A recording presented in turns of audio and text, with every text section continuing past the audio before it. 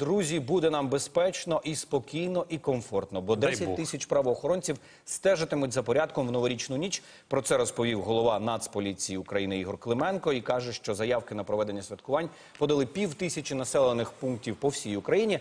Поліцейські і нацгвардійці стежитимуть за дотриманням правил дорожнього руху, попереджатимуть хуліганські дії, контролюватимуть, як українці дотримуються заходів безпеки, коли запускають феєрверки і підпалюють петарди.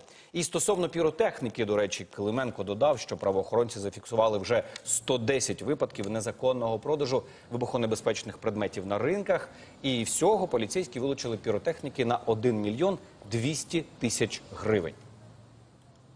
Величезна кількість е, точок, які знаходяться у нас в магазинах або на ринках, е, не контрольовано дуже часто продажу е, цих піротехнічних засобів саме громадянам, які не досягли відповідного віку.